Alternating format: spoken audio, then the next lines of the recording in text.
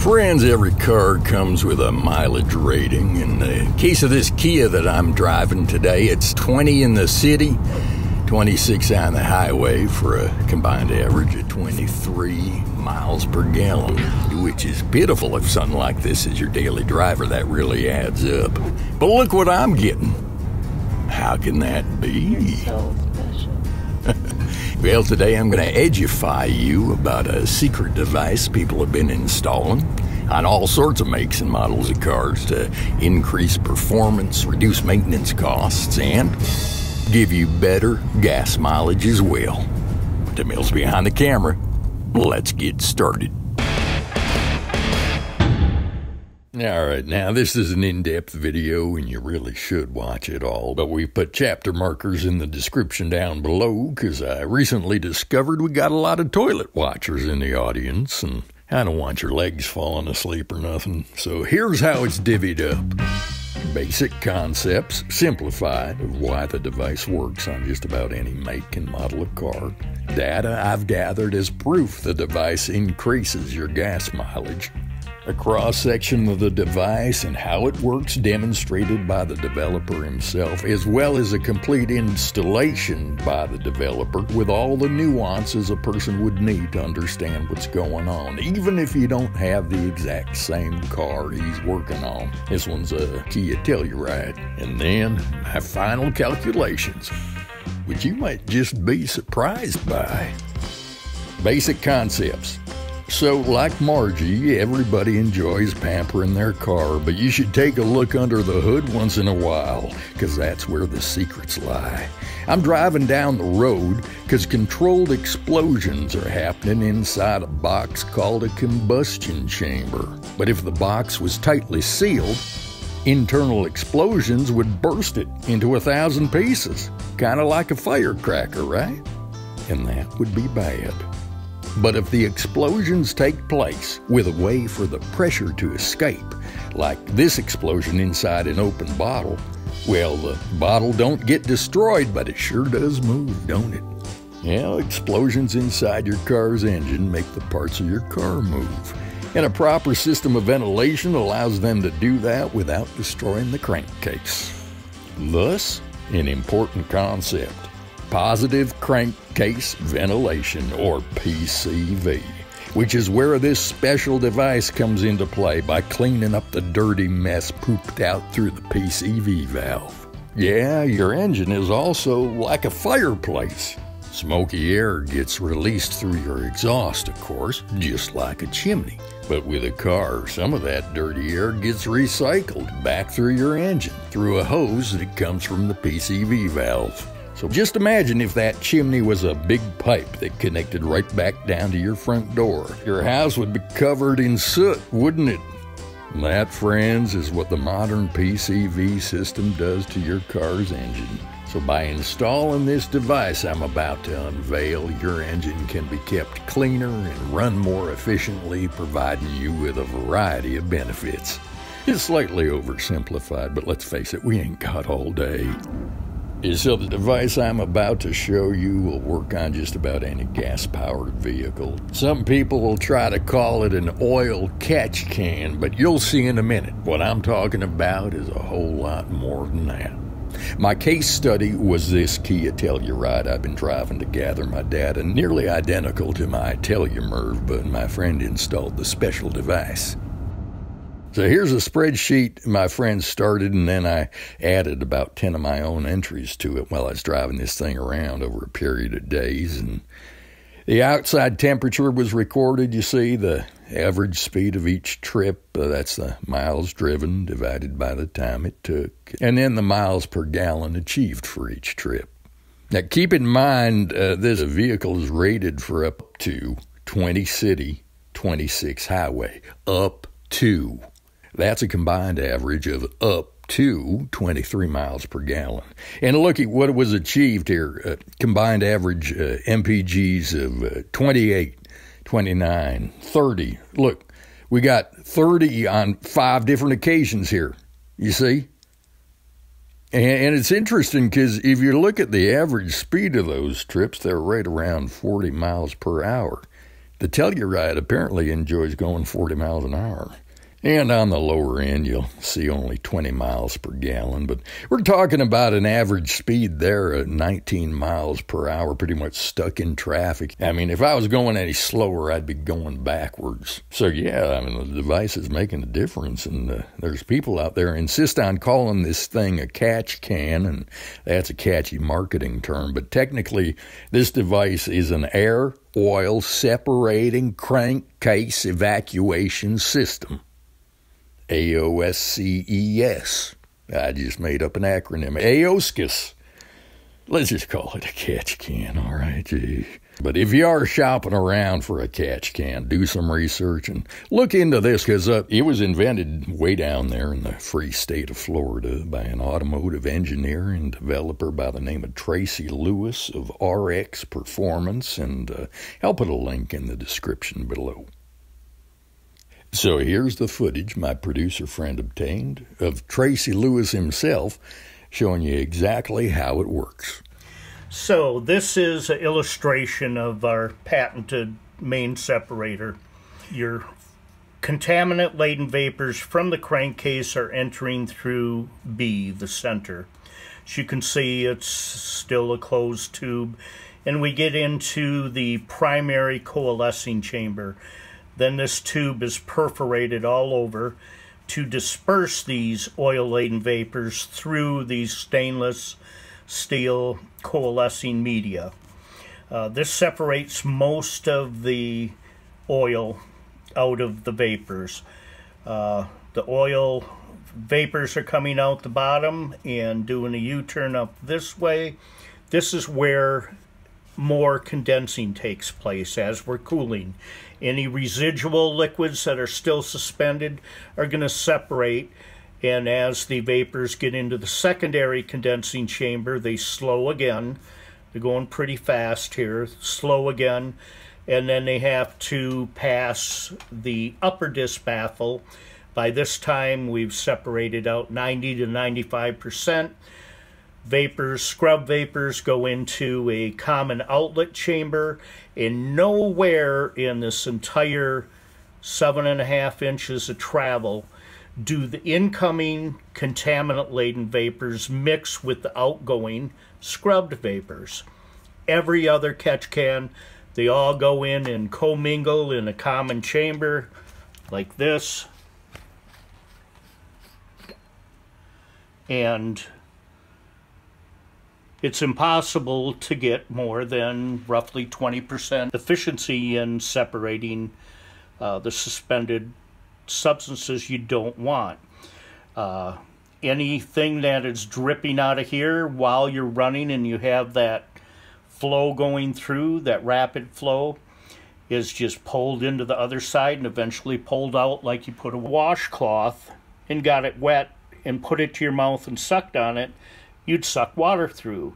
Well, this suction is many times stronger than your uh, mouth is going to be able to produce. This sucks the oil out to still be ingested. Every different design you could imagine, we buy them all, we test them, we examine them.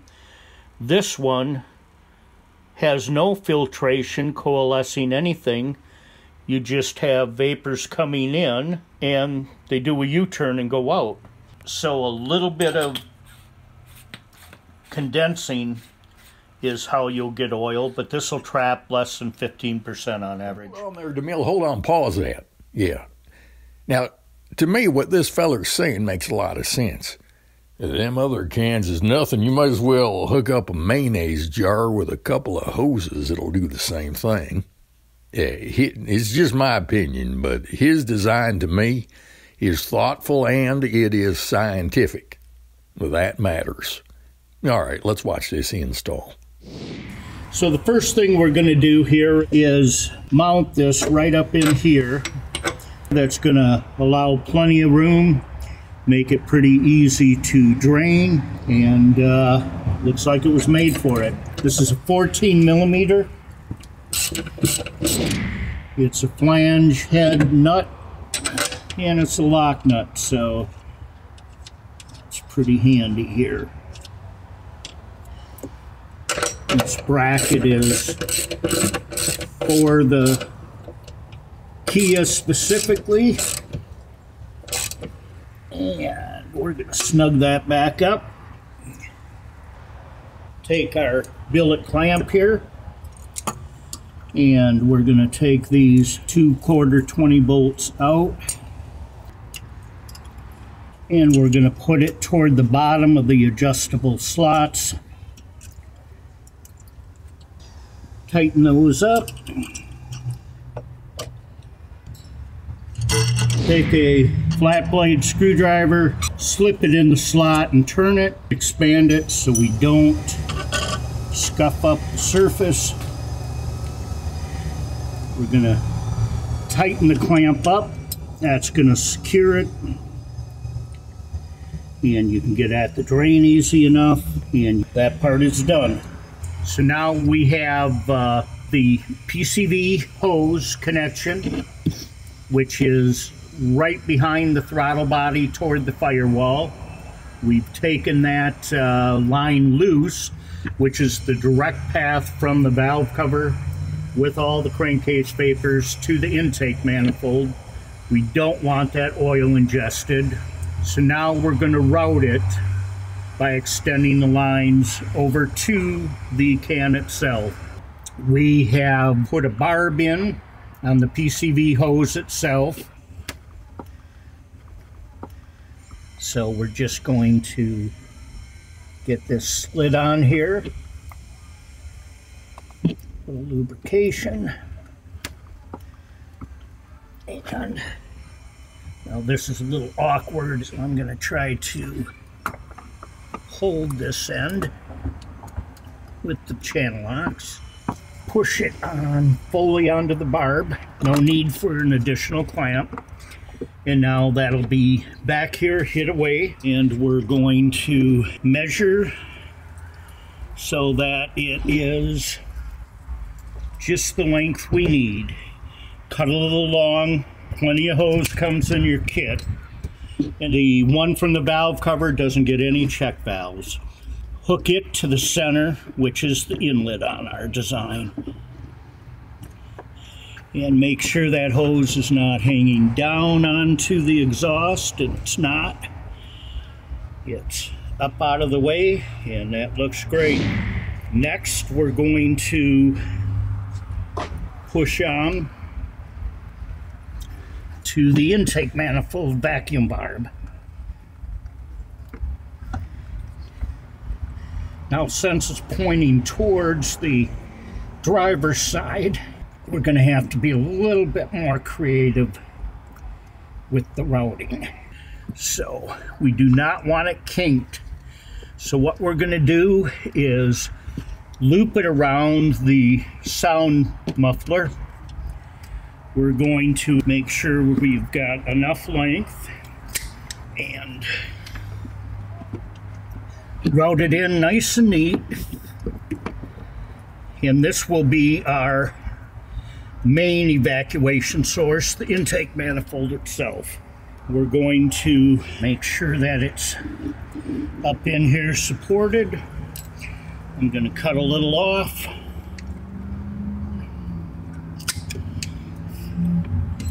Check valve has a arrow on it for flow. You're going to blow through it just to make sure. It only flows one way, and that needs to be away from the can.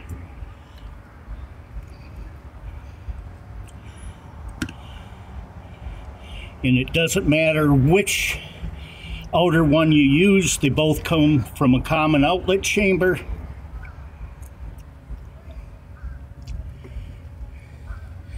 Just fully get the hose on, no need for any clamps again and that part is complete. So what we're going to do now is install the Venturi vacuum generating valve. Now what this does, once it's mounted, the incoming airflow going past the 45 opening creates a low pressure area inside the tube, generating at just 4,000 RPM up to 14 inches of vacuum and this is our secondary vacuum source. So you can remove your intake air bridge if you'd like to do this, or you can put a little wheel bearing grease on, and that catches the debris. Pick the center of a flat spot, which that one probably isn't big enough. Let's go right here. That should be enough room. So take the center of it. You're going to first drill straight down. And then you're going to ream it at a 45 or a little more. And we're to wipe this because we have to put a uh, either RTV, I prefer Permatex Right Stuff, but uh, any good fast setting sealant will work. Test fit first.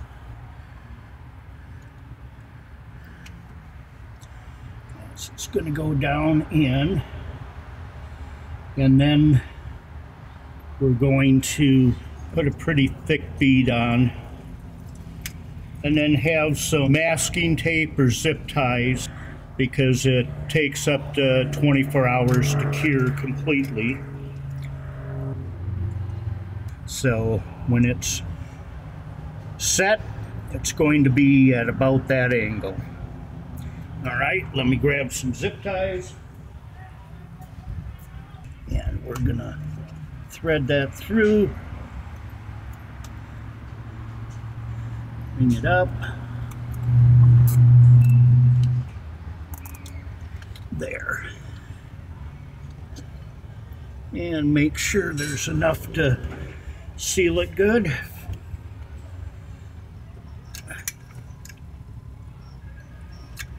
Okay. And we have our Venturi in place. We're now going to run the last of the foul and dirty sideline.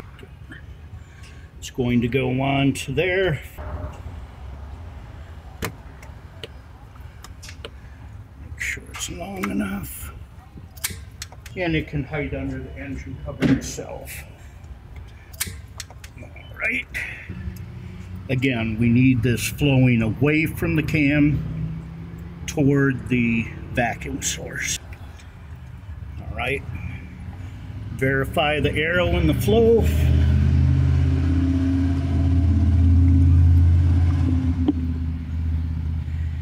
Slid on nicely.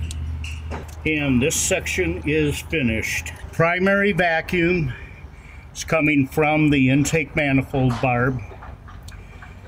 Check valve flowing away from the can to one of the outers. Can be either outer they uh, both come from the same outlet chamber inside here.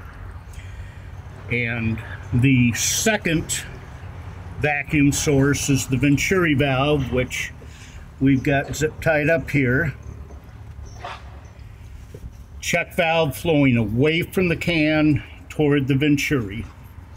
How this is going to work is while intake manifold vacuum is present, basically idle, deceleration, and light cruise, it's going to provide enough vacuum to be the primary evacuation suction source. We're pulling the vapors out of the crankcase and providing constant suction on the crankcase. The center is going to be the inlet that's bringing in the contaminant laden vapors, and this goes to the hose that's connected to the PCV valve on the rear of the backmost valve cover. No check valves in it because we're bringing those vapors straight in. So before we move on to the clean side, we're going to just do a little test here and start this up and verify there's no leaks, uh, no check engine lights, and then we're going to move on to the fresh or the clean side. Okay, now the clean side of a PCV system is where the filtered, fresh mass airflow metered air, if so equipped, this one is, is drawn from the main air intake through this larger tube into this valve cover.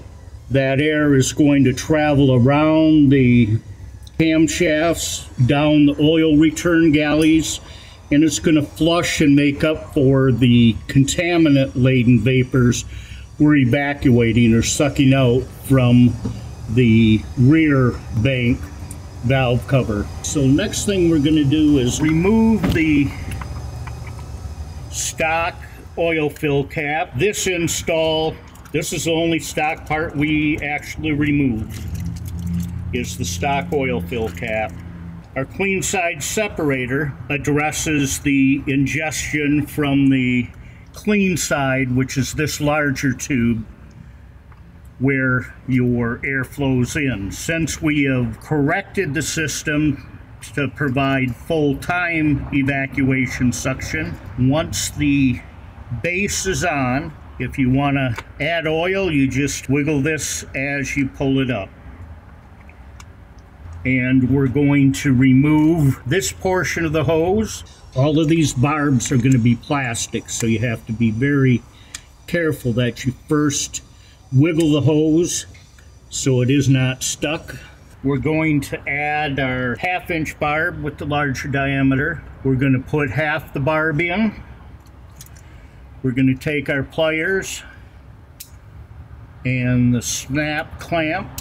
It's going to secure that we're going to put the half inch vacuum cap on this barb so it's not left open. We need to cap and plug the original pathway for the filtered fresh air to come in. And we're now routing it through this portion. So we're adding a good three inches of vertical height.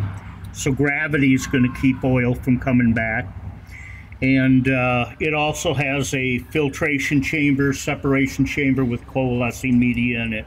So we are making our hose little on the long side. We're going to hook this up here. There are only a couple spots we're going to be able to go out underneath the cover. We're going to thread this under here under this wire harness. Make sure nothing is kinked. And then this will go on to here. And this is going to take care of the clean side. If you need to add oil, you simply wiggle and pull up. There are two O-rings to seal it. And that's how you will add oil from now on. And then from here, we're going to install the engine cover itself. So that's the installation. The RX Tracy Lewis Performance patented air oil separating crankcase evacuation system. Well, there you go. I told you it was more than just a catch can.